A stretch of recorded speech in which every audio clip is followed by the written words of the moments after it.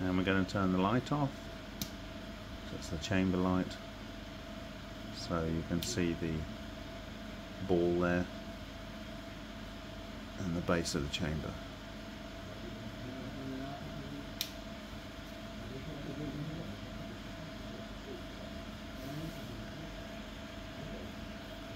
Try and have a look inside one of these balls here. The boundary layer.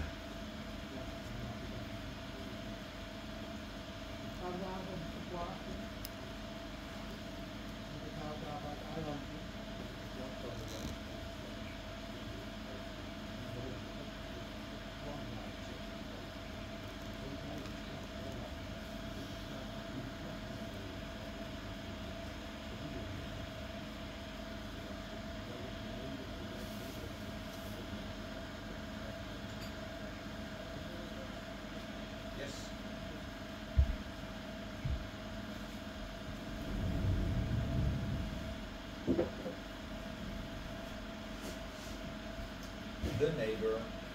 Hello, the neighbour. Was he